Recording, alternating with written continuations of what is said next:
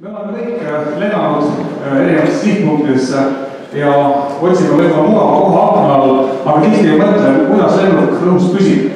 tegelikult on asi lihtne, on neli füüsikalist äh, seadust, mis on seotud lennuki lendamisega.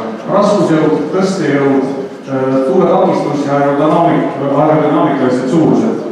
selleks, et lennuk püsiks õhus, on vaja tekitada peamiselt tõstejõud, sest muidu ei saa see suur kolakas maast lahti kui me võtame lennuki tiiva ja lõikame ta läbi, siis tekib tiiva profiil. kui me tiiva profiili jälgime, siis alati tiiva ülemine osa on kaardus ja alumine osa on sirge.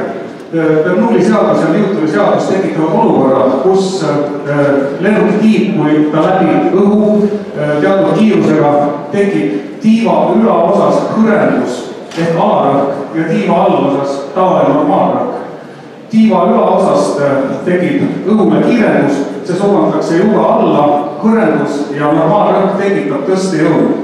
nüüd jääb ainult võimalus anda lennukile kiirus, kui on piisav kiirus, tekibki Bernoulli seaduse, Newtoni seaduse tõttu tõstejõud, mille tõttu lennuk püsib õhus.